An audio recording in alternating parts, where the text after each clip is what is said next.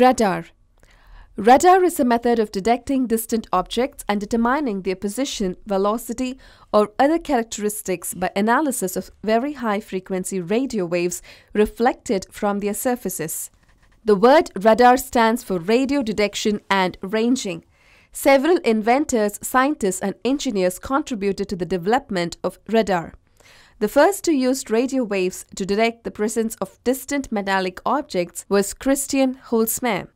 Whether it's mounted on a plane, a ship, or anything else, radar set needs the same basic set of components something to generate radio waves, something to send them out into space, something to receive them, and some means of displaying information so the radar operator can quickly understand it. The radar waves are generated by a piece of equipment called a magnetron. Radio waves are similar to light.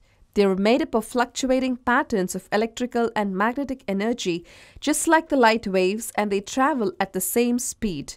But the waves have much longer wavelengths and higher frequencies. Once the radio waves have been generated, an antenna working as a transmitter hurls them into space.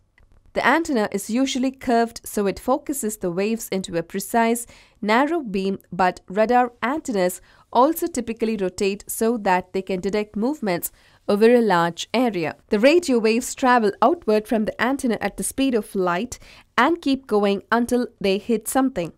Then some of them bounce back towards the antenna in a beam of reflected radio waves, also traveling at the speed of light.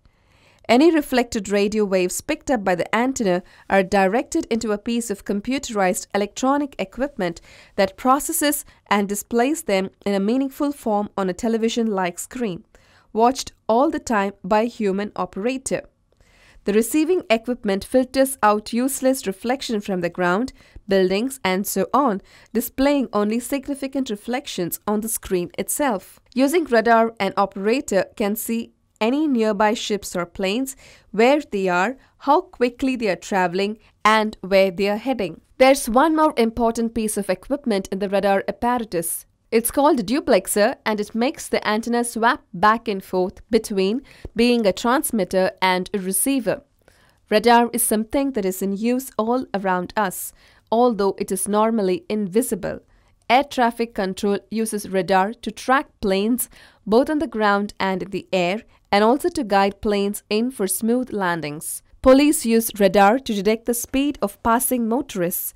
NASA uses radar to map the Earth and other planets to track satellites and space debris and to help with things like docking and maneuvering. The military uses it to detect the enemy and to guide weapons. Meteorologists use radar to track storms, hurricanes, and tornadoes.